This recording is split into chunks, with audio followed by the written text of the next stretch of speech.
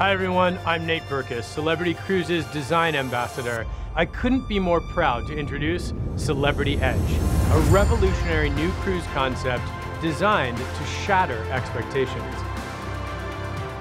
I think what I you know, wanted to achieve here was to try and create lots of different experiences and to basically do it as though we were doing a luxury home, but doing it in a cruise ship. For me, cruise design is divided into three bits.